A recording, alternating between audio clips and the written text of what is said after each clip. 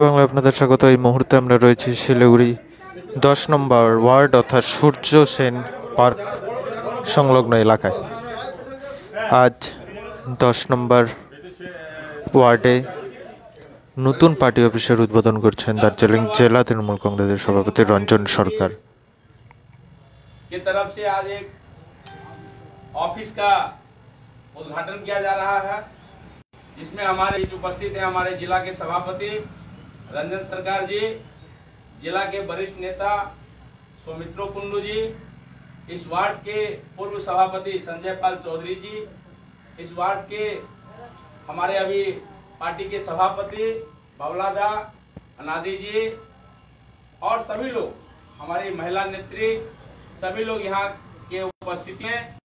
अभी हमारे जिला के सभापति रंजन सरकार जी पार्टी ऑफ़िस का उद्घाटन करेंगे।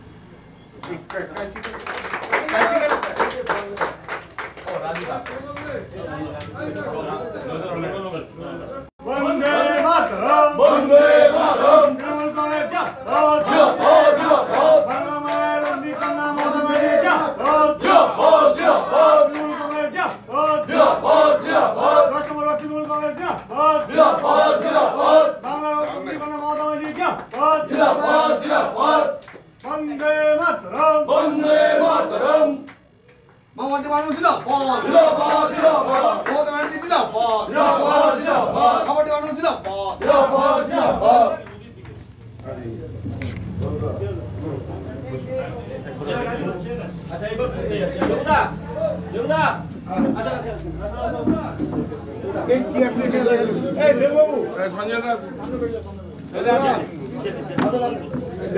ঠিক আছে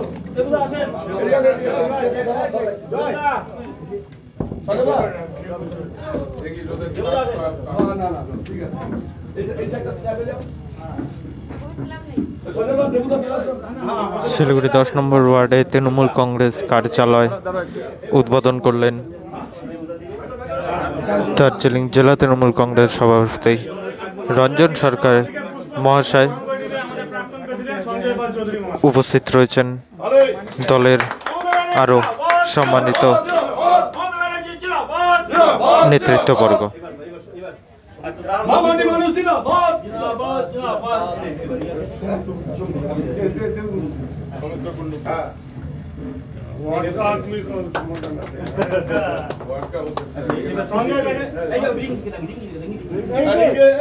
চলে গেল আয় না ওকে রাখো ঠিক আছে ও ঠিক আছে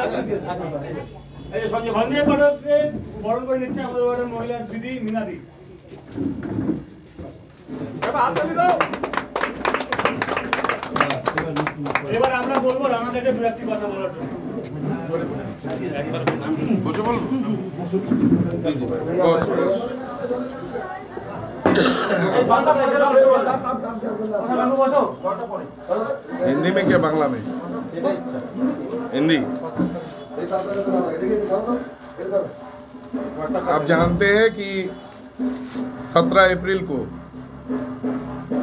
सिलीगुड़ी, दार्जिलिंग जिला और जलपाईगुड़ी जिला के इलेक्शन होने जा रहा है, असेंबली इलेक्शन। दस नंबर वार्ड, ये एक बहुत महत्वपूर्ण वार्ड है, जहाँ ज़्यादा से ज़्यादा हमारे शहर का। गण्यमान्य सब बिजनेसमैन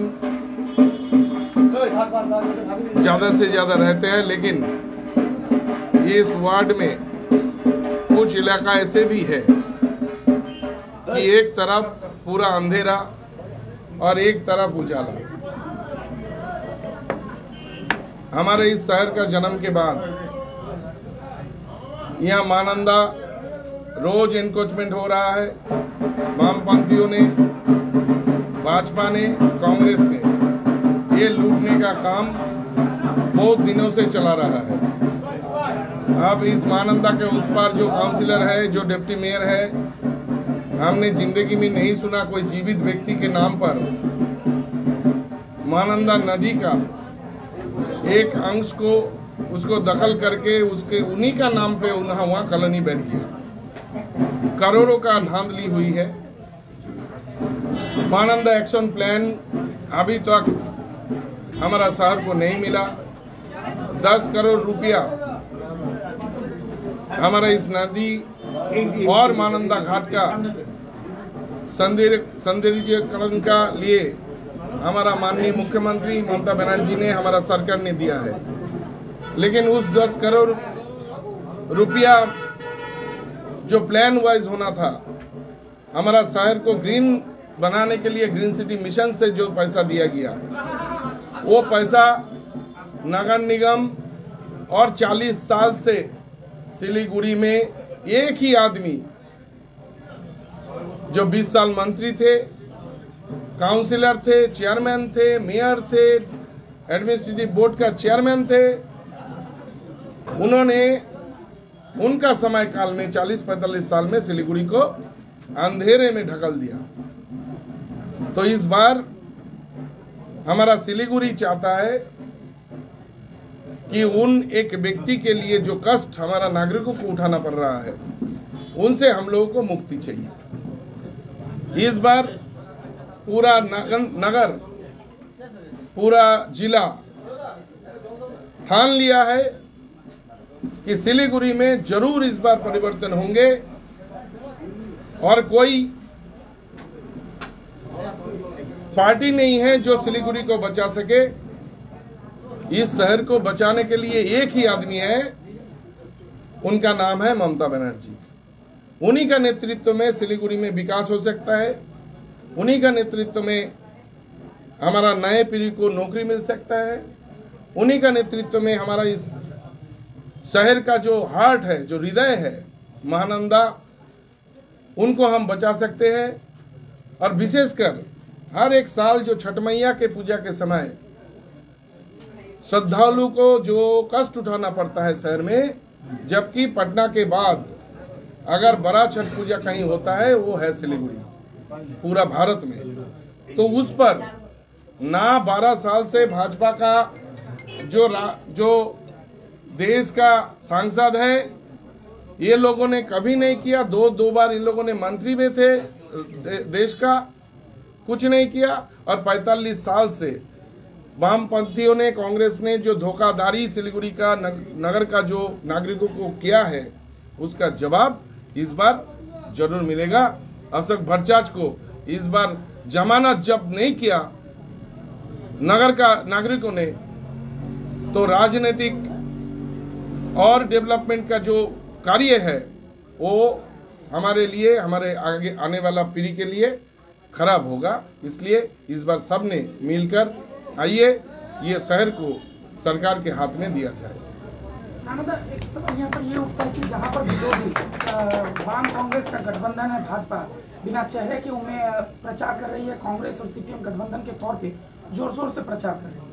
उस जगह पर तृणमूल कांग्रेस के उम्मीदवार के नाम की घोषणा होने के बाद कहीं न कहीं पार्टी का एक हिस्सा क्या नाराज़ है, जिसके कारण उम्मीदवार के प्रचार में लोगों की भीड़, कार्यकर्ताओं की भीड़ नहीं देखिए, एक बात सुन लीजिए।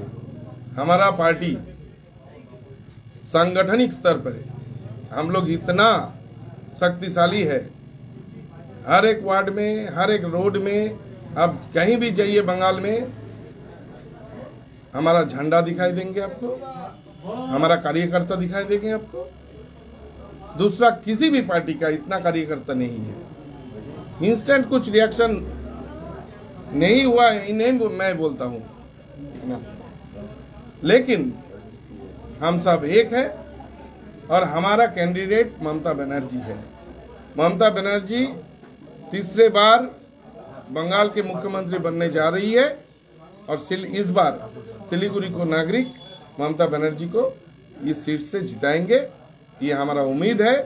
और हम यहाँ यहाँ का डेवलपमेंट का काम, यहाँ का पेयजल का जो समस्या है, यहाँ ड्रेनेज का जो समस्या है स्वेरेज का जो समस्या है। और सबसे बड़ी बात, हमारा शहर का हृदय महानंदा नदी को हमको बचाना है।